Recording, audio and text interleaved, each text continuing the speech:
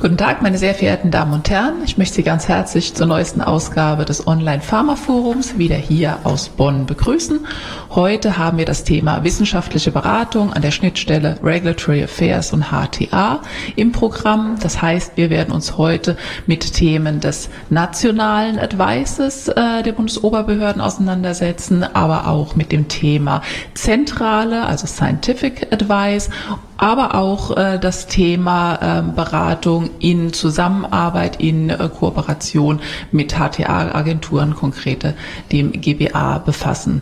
Und ich freue mich sehr, Ihnen die heutige Expertin der Veranstaltung vorstellen zu dürfen. Das ist Frau Peggy Beinlich. Mein Vortrag ist ein bisschen aufgeteilt in, in vier Untergruppen.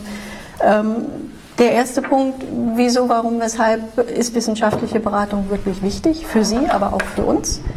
Ähm, Im zweiten Punkt würde ich darauf eingehen, wie funktioniert das Ganze, wie macht man das denn, ähm, wie läuft so eine Beratung bei der Bundesoberbehörde, also beim BfArM wirklich ab. Im dritten Teil, ähm, wie grenzt sich das Ganze vom zentralen Advice ab, also wieso soll ich überhaupt oder sollte ich einen nationalen Advice durchführen. Ich könnte ja auch gleich zur EMA geben, was sind die Unterschiede, wo sind Vor- und Nachteile. Und ganz zum Schluss dann die spannende Frage, wie funktioniert das Zusammenspiel zwischen HTA und Bundesoberbehörden?